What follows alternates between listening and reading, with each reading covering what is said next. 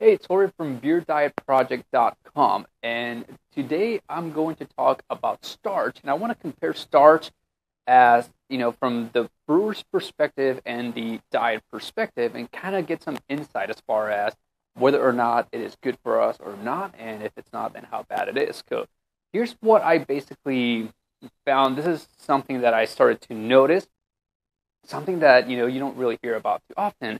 Now, when brewing beer I soak grains in hot water. And there's one thing that I know I need to have in order for starch to become sugar during the brewing process. And it kind of boils down to five things. So we need the water, we need the temperature, we need the right pH, we need minerals, and we need enzymes. And well, I guess time would be a sixth uh, component. Uh, but now the thing that really gets my attention is when I brew beer, I want to brew about five gallons of beer, and you know I'm going to use about nine to ten pounds of grain. I'm going to use about nine to ten gallons of water. You know, give or take depending on the recipe. But the thing that really gets my attention is that during the mash, uh, you know, when I'm soaking grains in hot water to convert starch into sugar, I start out with about 10 gallons of water. And at the end, I lose about a third of that.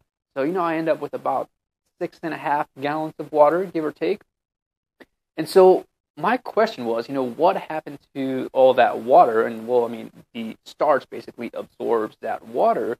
But really, my question is, you know, when we eat starch, you know, when starch is in our diet, what happens, you know, inside of our body? How does that starch become, you know, sugar? Because that's what our bodies are going to use for energy, sugar.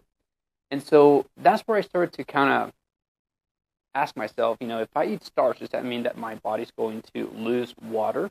And you know what what's it going to need inside the body? And well it's going to basically need the same five things which is going to be water temperature ph enzymes um, you know the right time and the minerals. Now when you think about it for a second anytime you eat starch really what's happening is that your body is dehydrating itself.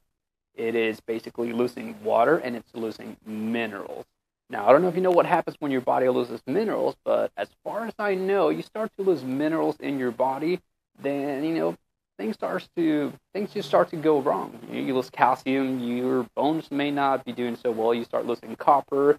You know, your mind might, may not be doing too well. Magnesium, you may get a little constipated.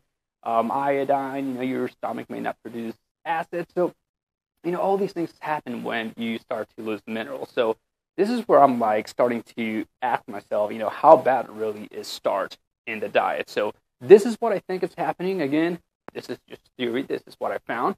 I've completely, well, I won't say completely, but I've for the most part removed starch from my diet. I'll eat a pizza slice every now and then, but trust me, I completely, I've, I've removed most of the starch within my diet and it's done a lot of cool things for me. So, um, that's it for this video. Let me know what you think. What do you think? Is starch bad for you? How does the body process starch in the body?